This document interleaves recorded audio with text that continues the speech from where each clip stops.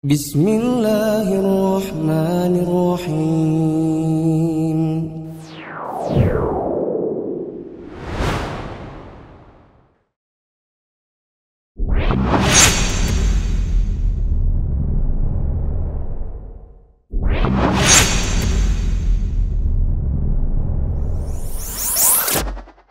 بسم الله الرحمن الرحيم السلام عليكم ورحمة الله وبركاته وعليكم السلام ورحمة الله وبركاته Alhamdulillahilladzi hadana li hadza wa ma kunna linahtadiya laula an hadanallah.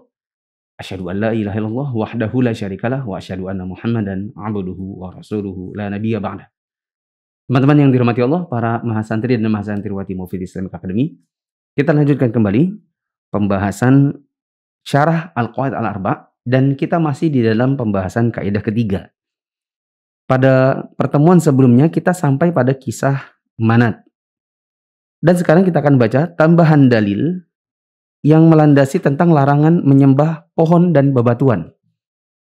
Dan di sini penulis membawakan hadis Abu Waqid Al-Laythi radhiyallahu anhu tentang pohon Zatu Anwar. Di buku cetakan-cetakan baru ada di halaman 124, di buku cetakan awal ada di halaman 128. وحديث أبي واقد الليثي رضي الله عنه قال خرجنا مع النبي صلى الله عليه وسلم إلى حنين ونحن حدثاء عهد بكفر. وللمشركين سدرة يعكفون عندها وينوطون بها أسلحتهم. يقال لها ذات أنواط. فمررنا بسدرة فقلنا يا رسول الله اجعل لنا ذات أنواط كما لهم ذات أنواط. Begitu juga hadis dari Abu Waqid. Al-Laythi radhiyallahu anhu. Kami pernah pergi bersama Rasulullah sallallahu alaihi wasallam ke Hunain. Saat itu kami baru saja lepas dari kekafiran atau baru masuk Islam. Orang-orang musyrik saat itu memiliki pohon bidara yang mereka kerap berlama-lama di sisi pohon tersebut dan menggantungkan senjata-senjata mereka di situ. Pohon tersebut dikenal dengan nama Zatu Anwat, tempat menggantungkan. Tatkala kami melewati sebuah pohon bidara, kami berkata, Ya Rasulullah, jadikanlah buat kami pohon itu sebagai Zatu Anwat, sebagaimana orang-orang musyrik juga punya Zatu Anwat. Mari kita baca syarah Syekh Syahtri. Penulis juga membawakan dalil lain yang melarang menyembah pepohonan dan bebatuan, yaitu hadis dari Abu Waqid Al-Laisi radhiyallahu Nah, saya bacakan teman-teman bisa mengharokati di bukunya. Karena saya memang sengaja sengaja mencantumkan hadis ini tidak dengan menggunakan harokat agar teman-teman yang sudah belajar bahasa Arab bisa latihan dan yang belum belajar bahasa Arab paling tidak latihan untuk mengharokati. Hadis dari Abu Waqid Al-Laythi radhiyallahu. خرجنا مع النبي صلى الله عليه وسلم إلى حنين.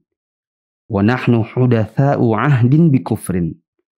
وللمشركين سدرة يعكفون عندها وينوطون بها أسلحتهم. يقال لها ذات أنواط. فمررنا بسدرة فقلنا يا رسول الله اجعل لنا ذات أنواط كما لهم ذات أنواط. الحديث Teman-teman kalau belum sempat mengharokati berarti coba putar kembali uh, bagian saya membacakan hadis ini lalu kemudian uh, di pause pause gitu ya sambil pause sambil dikasih harokat. Nah, Kami pernah pergi bersama Rasulullah Shallallahu Alaihi Wasallam ke Hunain. Saat itu kami baru saja lepas dari kekafiran atau baru masuk Islam. Orang-orang musyrik saat itu mempunyai pohon bidara yang mereka kerap berlama-lama di sisi pohon tersebut dan menggantungkan senjata-senjata mereka di situ. Pohon tersebut dikenal dengan nama Zatu Anwat atau tempat menggantungkan.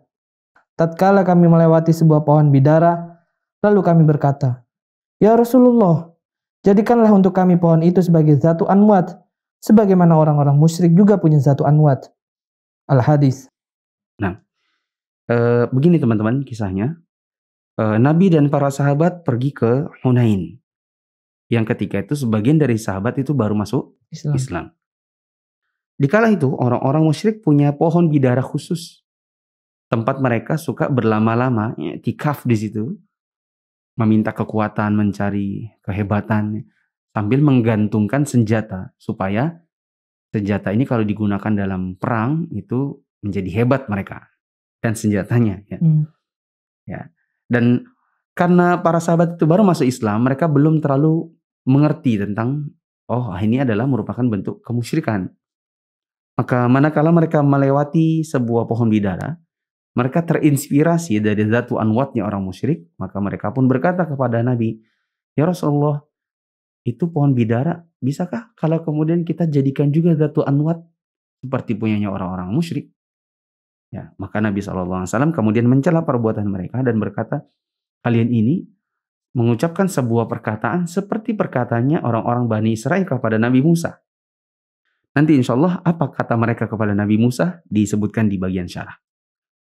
Sekarang kita akan baca syarah secara terperinci hadis Abu Waqid Al-Laythi ini. Disebutkan tadi kharajana ma'an Nabi sallallahu alaihi wasallam ila Hunainin. Kami pernah pergi bersama Rasulullah sallallahu alaihi wasallam ke Hunain. Hunain adalah suatu daerah di dekat Taif yang pernah menjadi tempat peperangan yang sangat besar.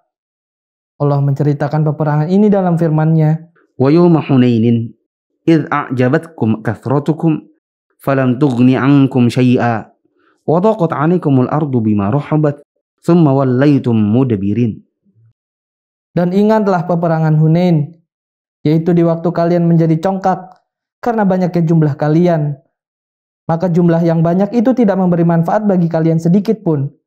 Dan bumi yang luas itu telah terasa sempit oleh kalian.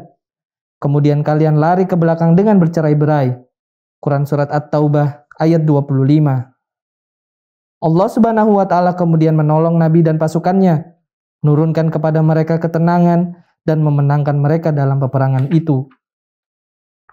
Ayat ini memberikan pelajaran kepada kita bahwa hati itu tidak selayaknya terikat pada hal-hal duniawi. Hati itu harus selalu terikat dengan Allah. Hati tidak boleh sombong terhadap harta yang kita miliki, karena harta bisa saja hilang dalam sekejap.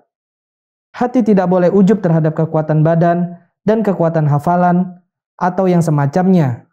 Karena Allah Subhanahu wa taala sangat mampu membalikan akal pikiran dan memalingkannya dari kebaikan dan ketaatan kepada hal-hal yang berlawanan dengannya. Sekali lagi, hati itu tidak pantas untuk terikat dengan sebab-sebab duniawi, tetapi dia harus selalu terikat dengan Allah. Jika hati seorang manusia terikat dengan Allah, maka Allah akan mencukupkan segala sesuatu untuknya. Akan tetapi, manakala seseorang selalu melihat dan berpatokan kepada sebab duniawi, maka Allah Ta'ala akan jadikan dia bergantung pada sebab-sebab itu dan bergantung pada kelemahan dan kekalahan yang tidak memberikan manfaat sedikit pun untuknya. Kejadian dalam perang Hunain adalah salah satu buktinya. Jika Allah Subhanahu wa taala menjaga kita, maka Dia akan membantu kita dan kaum mukminin dengan pertolongannya. Manakala manusia berpegang teguh dengan Allah dan selalu menggantungkan hati kepadanya, maka Allah Subhanahu wa taala akan menjaganya dari segala keburukan dan membantunya dalam segala kebaikan. Teman-teman yang dirahmati Allah, ada faedah yang bagus yang disebutkan di sini oleh Syekh Syafri tentang salah satu hikmah di balik uh, perang Hunain yaitu tentang terlarangnya kita bergantung kepada sebab-sebab duniawi. Uh, dalam dalam hal ini adalah uh, ujubnya para sahabat ketika itu yang kemudian ditegur oleh Allah Taala karena mereka menganggap bahwa mereka jumlahnya banyak. Jadi mereka merasa kita pasti menang gitu ya. Tapi ini nanti saja karena nanti akan bisa mendivert fokus kita terhadap kaidah ketiga. Nanti insya Allah akan kita jadikan sebagai faidah tambahan tapi setelah kaidah ketiga selesai. Kita lanjut dulu. Wa nahnu hudatsa'u ahdin bi kufr. Saat itu kami baru saja lepas dari kekafiran yaitu baru masuk Islam. Artinya masih ada sisa-sisa ajaran jahiliyah yang membekas pada diri mereka yang mereka belum mengetahui hukumnya dalam pandangan Islam. Ya, makanya mereka ikut-ikutan minta bikin zatu anwat. Hmm. Ya. Dan mereka mengatakan, oh soalnya waktu itu kami baru masuk Islam, jadi kami belum tahu. Selanjutnya, walil musyriki sidratun ya'kufuna indaha. Orang-orang musyrik saat itu mempunyai pohon bidara yang mereka sering menetap lama di sisi pohon tersebut. Artinya, mereka sering berada di dekat pohon itu dan duduk lama sekali di sisi pohon bidara ini. Ya, dan duduk lama ini disebut dengan iktikaf. Hmm. Ya, maksudnya mereka iktikaf di situ. Diam, semedi. Ya, mencari apa di situ? Mencari sesuatu berupa rahmat, kebaikan, kekuatan, kehebatan. Selanjutnya kata Abu Waqid, wa yanutuna biha aslihatahum dan menggantungkan senjata-senjata mereka di situ. Artinya mereka mengikat senjata-senjata mereka dengan keyakinan bahwa itu akan mendatangkan keberkahan pada diri dan senjata mereka. Ya, orang-orang musyrik itu suka gantung senjata di pohon bidara yang disebut dengan Zatu Anwat ini. Dinamakan Zatu Anwat karena memang tempatnya Yanutun. Tempatnya mereka gantung-gantungin senjata. Kenapa mereka gantungkan senjata? Jawabannya ingin mencari keberkahan pada diri dan senjata mereka. Jadi kalau nanti mereka perang, mereka bisa menang. Selanjutnya. Mereka juga meyakini bahwa pohon itu yang membantu dan menolong mereka. Dan itulah akidah mereka yang rusak. Kata Abu Waqid, yuqalu laha zatu anwat. Pohon tersebut dikenal dengan nama Zatu Anwat. Dinamakan demikian karena banyaknya barang dan senjata yang digantungkan di pohon tersebut. Pamaror Nabi Sidratin. Kami melewati sebuah pohon bidara, yaitu pohon jojoba Ibrani. Abu Waqid melanjutkan, Fakulna ya Rasulullah, ij'al lana dhata. Lalu kami berkata, Ya Rasulullah, jadikanlah buat kami pohon itu sebagai zatu anwat. Mereka meminta Rasulullah pohon bidara yang mereka lihat untuk dijadikan zatu anwat juga, yaitu tempat mereka menggantung senjata agar mendatangkan keberkahan pada diri dan senjata mereka. Ya, selanjutnya, kama lahum zatu anwat. Sebagaimana orang-orang musyrik juga punya zatu anwat. Yaitu sebagaimana orang-orang musyrik memiliki pohon tempat mereka menggantung senjata dan mencari berkah untuk mereka. Maka mereka juga minta ikut-ikutan dibuatkan zatu anwat dengan menggunakan pohon bidara. Namun Rasulullah Shallallahu Alaihi Wasallam kemudian bersabda, Subhanallah, hadza kama qala qaum Musa ij'al lana ilahan kama lahum alihah. Walladhi nafsi biyadih. Latarkabunna sunnata man kana qablakum. Subhanallah. Perkataan kalian sama seperti yang dikatakan oleh kaum Bani Israel kepada Musa. Buatkanlah untuk kami sebuah Tuhan atau berhala sebagaimana mereka mempunyai beberapa Tuhan atau berhala.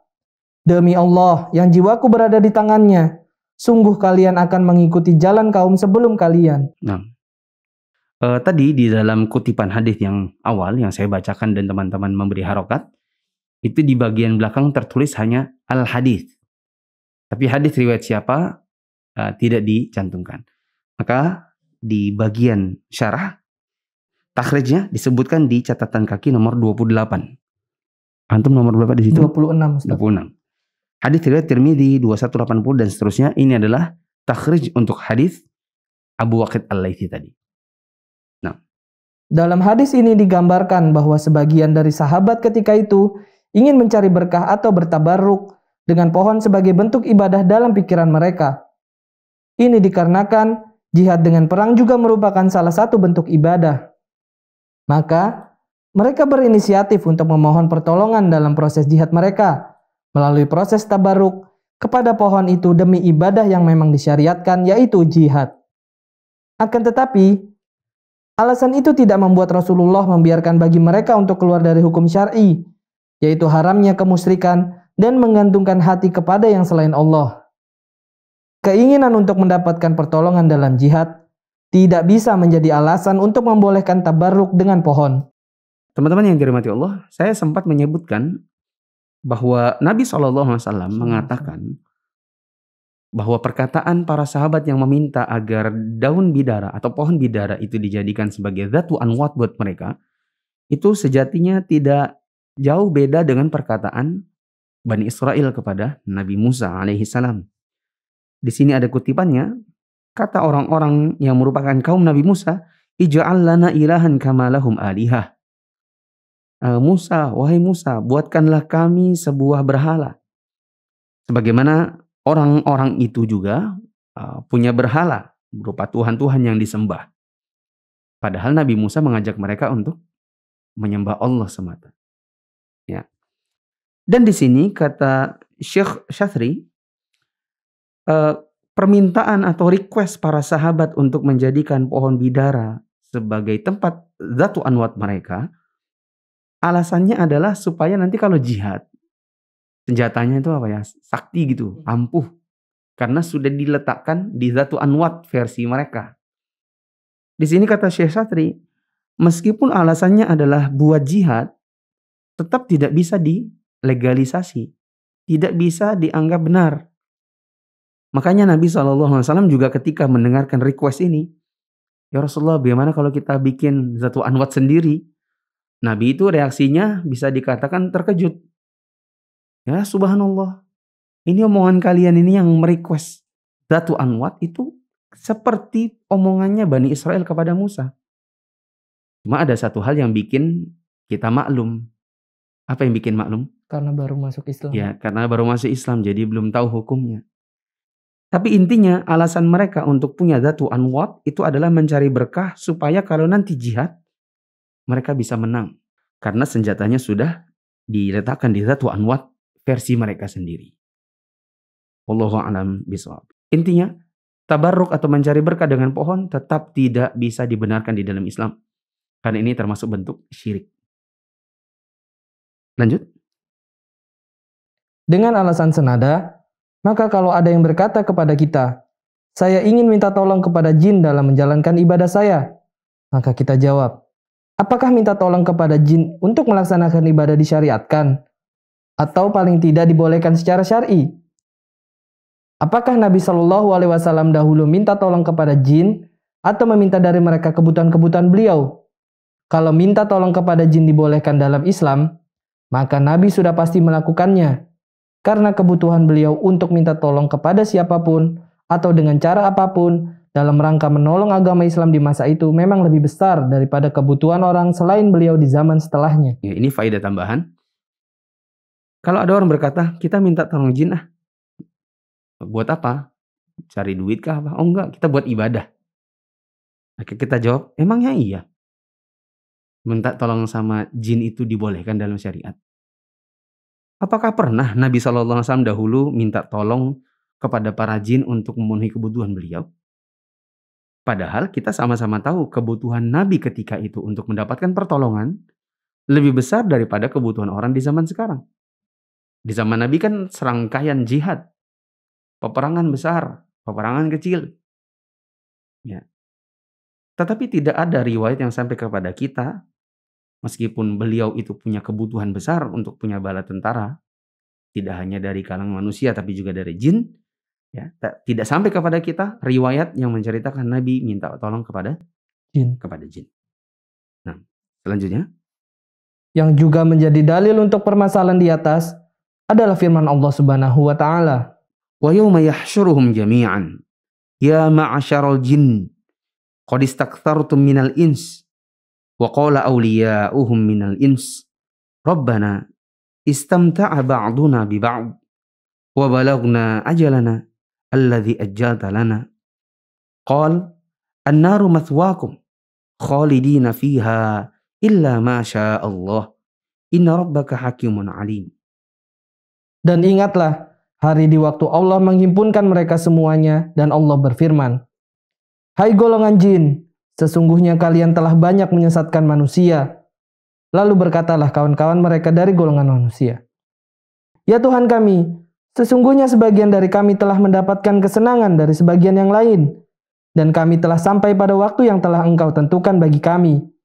Allah berfirman, Neraka itulah tempat diam kalian, sedang kalian kekal di dalamnya kecuali kalau Allah menghendaki yang lain. Sesungguhnya Tuhanmu maha bijaksana, lagi maha mengetahui. Quran Surat Al-An'am ayat 128. Ini adalah dalil tambahan. Tidak bisa tolong-menolong dengan jin. Tidak boleh tolong-menolong dengan jin. Meskipun dengan alasan beribadah. Dikarenakan ada perkataan manusia kepada Allah Ta'ala. Rabbana istamta'a ba'duna biba'd. Wahai Allah, Wahai Tuhan kami, sesungguhnya sebagian dari kami telah mengambil kesenangan dari sebagian yang lain. Maksudnya kami ini saling tolong menolong begitu. Jin mendapatkan kesenangan dari kami, kami juga mendapatkan manfaat dari jin. Apakah kemudian Allah mengatakan oke okay, nggak ada masalah? Tidak, justru Allah mengatakan al-naru mathwakum. Neraka itu menjadi tempat bagi kalian. Ya. Selanjutnya. Dalam ayat ini Allah mengabarkan bahwa sebagian jin dan manusia saling bekerja sama, dan tolong menolong satu sama lain sehingga mereka pun diancam dengan neraka. Maka ini menunjukkan bahwa minta tolong kepada jin pada asalnya adalah terlarang. Karena kalau tidak terlarang, kenapa diancam neraka kan gitu. Hmm. Selanjutnya. Di sisi lain, kalau seorang manusia memberikan bantuan kepada seorang jin tanpa diminta, atau sebaliknya, seorang jin memberikan bantuan kepada seorang manusia tanpa diminta, maka tidak masuk dalam ayat ini Allah Subhanahu wa taala berfirman, "Rabbana istamta'a ba'duna bi ba'd." Sebagian dari kami telah mendapatkan kesenangan dari sebagian yang lain. Yang maknanya, jin dan manusia itu meminta tolong satu sama lain. Mereka mendapatkan kesenangan dengan cara itu. Nah, dan memang masih banyak ya di zaman sekarang orang-orang yang tolong menolong dengan jin. Contohnya dukun, ya orang-orang yang uh, mereka punya semacam kayak ilmu supaya kelihatan hebat, terbang di udara, jalan di atas air, bisa mendatangkan uang dari balik jubahnya dalam jumlah yang banyak, ya bisa macam-macam yang banyak dikerjakan oleh zaman sekarang, ya yang itu merupakan tolong menolong dengan jin. Nah, oh ya termasuk di antaranya tenaga dalam, hmm. ya dari jauh orang hanya dengan gerakan sedikit, ya tanpa terkena langsung secara fisiknya, tidak ada kontak fisik, tapi lawannya bisa uh, terlempar begitu.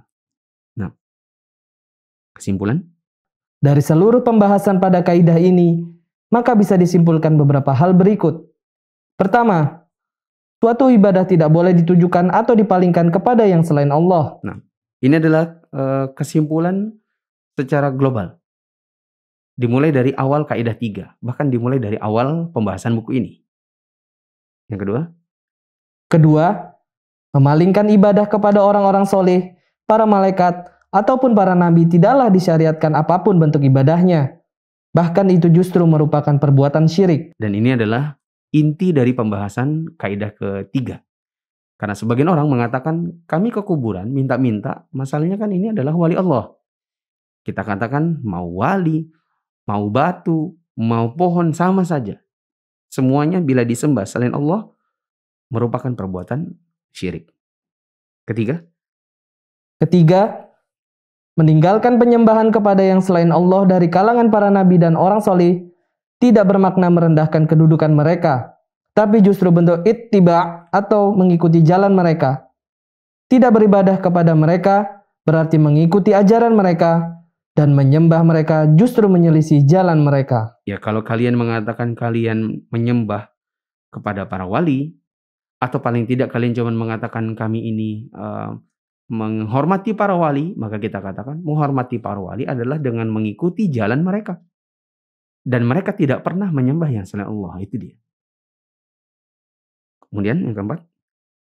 Keempat, akidah yang rusak tidak akan bermanfaat di sisi Allah sedikit pun bisa disimpulkan pula bahwa syirik mencakup penyembahan kepada selain Allah, baik itu ditujukan kepada orang-orang soleh maupun setan. Kelima, kemusyrikan tidak boleh dilakukan walaupun dengan alasan untuk menunjang ibadah dan ketaatan kepada Allah. Makanya para sahabat yang ketika itu minta untuk dibuatkan zatu anwat dari pohon bidara, mereka justru membuat Nabi kaget Sampai Nabi SAW mengatakan kepada mereka, kalian ini mengucapkan ucapannya Bani Israel kepada Musa. Ya, intinya itu adalah merupakan celaan terhadap apa yang mereka inginkan. Dan walaupun alasannya adalah ibadah, itu tetap tidak diperbolehkan. Sebagaimana Datu Anwat itu, salah satu manfaatnya adalah buat cari berkah di senjata. Yang senjata ini nanti dipakai buat berjihad. Nah, Adapun faedah yang tertulis pada bagian-bagian akhir ini sudah tidak berhubungan dengan uh, kaidah ketiga. Dan berarti kita menyisakan dua PR dari yang ada di buku ini, yaitu tentang manfaat kisah Hunain ya yang tadi ada disebutkan tentang tidak bolehnya bersandar pada sebab duniawi. Hmm. Ini belum kita bahas. Faidah yang ada di bagian akhir juga belum kita bahas. Ini nanti insya Allah akan kita jadikan uh, tambahan faidah khusus nanti di materi yang lain. Ya. Wallahu a'lam bishawab. Ada pertanyaan?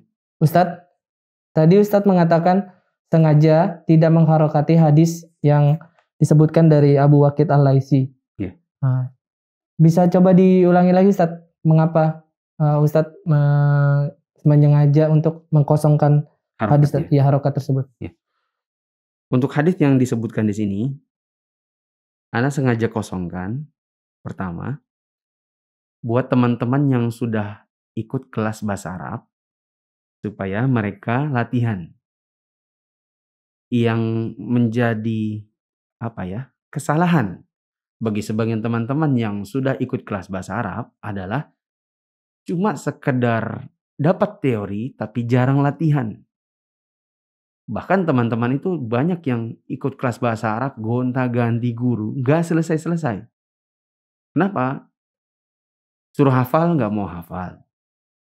Katanya nggak usah dihafal. Kan bisa dilihat di bukunya. Padahal harus dihafal. Minimal yang huwa huma hum, iya huma hunna, anta antuma antum, anti antuma antunna, ana nahnu. Itu nggak boleh nggak hafal. Seperti antum belajar bahasa Inggris kan nggak mungkin antum nggak hafal I, kemudian he is, eh apa namanya, he, she, they, we, kan nggak mungkin nggak dihafal. Harus dihafal. How, why, uh, what, who, itu semua harus dihafal. Yang kedua nggak mau ngerjain PR. Kalau dikasih tugas nggak mau, tidak mengerjakan, maunya cuma hadir. Hmm. Kesalahan yang lain adalah jarang latihan. Nggak mau diuji. Alasannya, anu aku ini kan sudah tua. Bla bla." Ya sudahlah, bapak kalau nggak mau serius juga nggak ada manfaatnya ikut kelas bahasa Arab. Kecuali dapat pahala loh. Kalau gitu sih kalau cuma cari pahala, mendingan ikut kajian yang lain aja. Karena belajar bahasa memang harus ada latihan. Satu lagi, nggak mau nyatat. Anda pernah lihat di kelasnya salah seorang ustadz, itu ikhwan-ikhwan dari misalnya 20 orang, mungkin yang nyatat cuman 3, 4. Sisanya moto, jepret. Hmm. Nanti Anda pernah lihat lagi mereka ujian kan? Ketika sudah ujian, baru hasil fotonya itu di dibesar-besarin Hmm. gitu.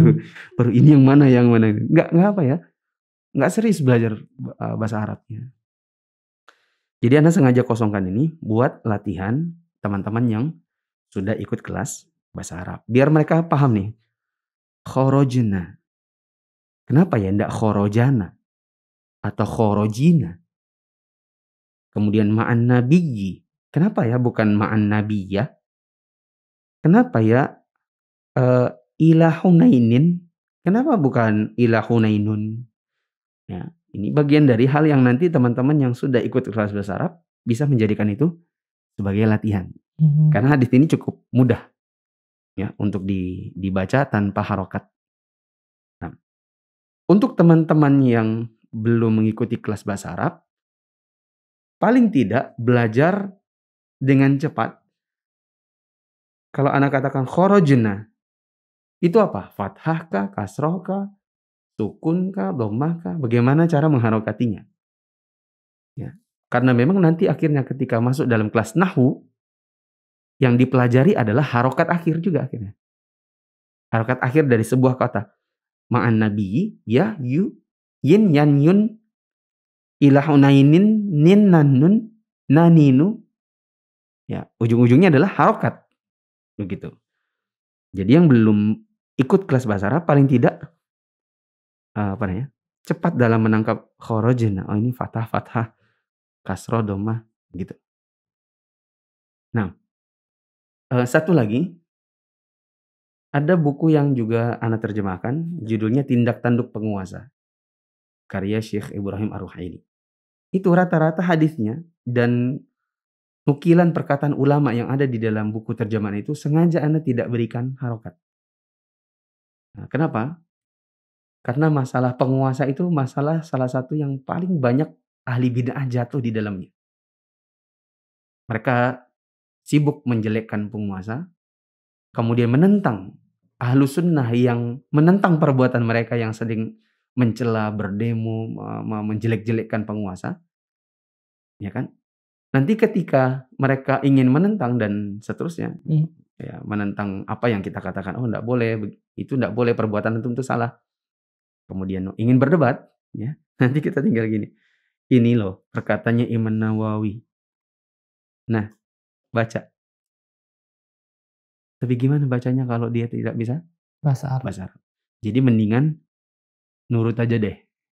Paham ya maksudnya? Paham betul. Karena ini pernah terjadi di uh, salah seorang ustadz kita.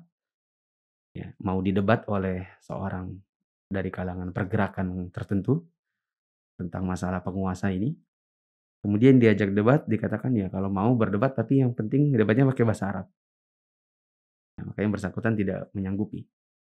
Kata beliau, ya sudah kalau tidak menyanggupi, antum mendingan belajar bahasa Arab dulu daripada sibuk berdebat soal agama. Allah Teman-teman yang dirahmati Allah, mungkin ini dulu yang bisa kita bahas. Uh, ingatkan bahwa di dalam pembahasan kaidah ketiga ini ada dua part yang kita skip yaitu tentang pembahasan faidah kisah Hunain dan ada faidah di bagian akhir di kesimpulan yang juga kita uh, skip dan insya Allah akan kita bahas pada pertemuan yang akan datang. Ini saja kurang lebihnya kami mohon maaf. Subhanakallahumma wa bihamdika asyhadu an la ilaha illa anta astaghfiruka wa atubu ilaik. Wassalamualaikum warahmatullahi wabarakatuh. Waalaikumsalam warahmatullahi wabarakatuh.